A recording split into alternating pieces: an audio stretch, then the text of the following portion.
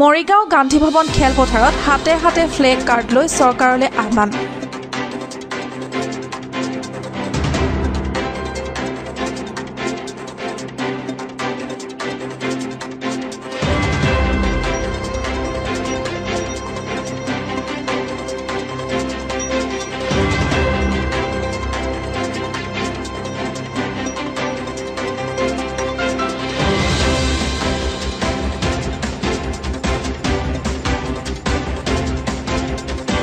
অসম আৰক্ষীৰ A B কনিষ্টবলত দুহেজাৰ ন দহ চনত বহু খেলি মেলি হোৱাৰ বাবে একাংশ যোগ্য প্ৰাৰ্থী বঞ্চিত হৈছিল। আজি প্ৰখৰ ৰদকো নেওচি চৰকাৰলৈ আহ্বান জনাইছে ভুক্তভোগীসকলে। কেতিয়া ন্যায় পাব ভুক্তভোগী যোগ্য প্ৰাৰ্থীসকলে?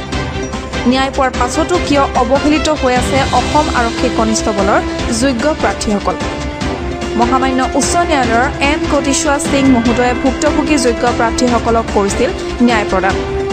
তৰুণ গগৈ মুখ্যমন্ত্ৰী হৈ থকাৰ দিনতে আৰক্ষী কনিষ্টবল নিযুক্তি প্ৰক্ৰিয়াত হৈছিল বহু অনিয়ম। দুহেজাৰ ন দহ চনতে যোগ্য প্ৰাৰ্থীসকলে বহু অনিয়মৰ বাবে মহামান্য উচ্চ ন্যায়ালয়ৰ দ্বাৰস্থ হৈছিল। দহ বছৰৰ অন্তত মুখ্যমন্ত্ৰী সৰ্বানন্দ সোণোৱাল চৰকাৰৰ দিনত দুহেজাৰ ঊনৈছ চনত ভুক্তভোগীসকলে মহামান্য উচ্চতম ন্যায়ালয়ৰ পৰা এ আৰ ভূঞাৰ সহযোগত অৰ্ডাৰ কপি লাভ কৰিছিল। মহামান্য উচ্চতম ন্যায়ালয়ৰ পৰা পোৱা অৰ্ডাৰ কপি জিলা আৰক্ষী মহোদয়ৰ ওচৰত উক্ত প্ৰাৰ্থীসকলে জমা কৰিছিল কিন্তু দুই বছৰ অতিক্ৰম কৰিলে আজিলৈ মহামান্য উচ্চ ন্যায়ালয়ে ন্যায় প্ৰদান কৰাৰ পাছতো কোনো ধৰণৰ ন্যায় নাপালে ভুক্তভোগীসকলে। হাকিম লৰচৰ হ'লেও হুকুম লৰচৰ নহয়। নিবনুৱা যোগ্য প্ৰাৰ্থীৰ কথা কোৱা বৰ্তমানৰ মুখ্যমন্ত্ৰী হিমন্ত বিশ্ব শৰ্মাই কেনেধৰণৰ পদক্ষেপ লয় সেয়াহে হ'ব লক্ষণীয়। কনষ্টেবল নিযুক্তি প্ৰক্ৰিয়া যি আৰম্ভ হৈছিলে তেতিয়া আমি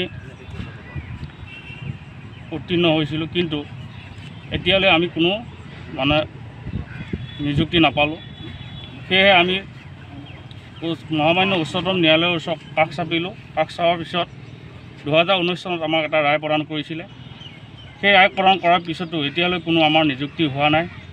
সেয়েহে আমি বৰ্তমানৰ দক্ষ মুখ্যমন্ত্ৰী হিমন্ত বিশ্ব শৰ্মা ছাৰক অনুৰোধ জনাইছোঁ যেন অতি শীঘ্ৰে এই নিযুক্তি প্ৰক্ৰিয়াত আমাৰ নাম অন্তৰ্ভুক্ত কৰি আমাক নিযুক্তি দিয়ে যেন।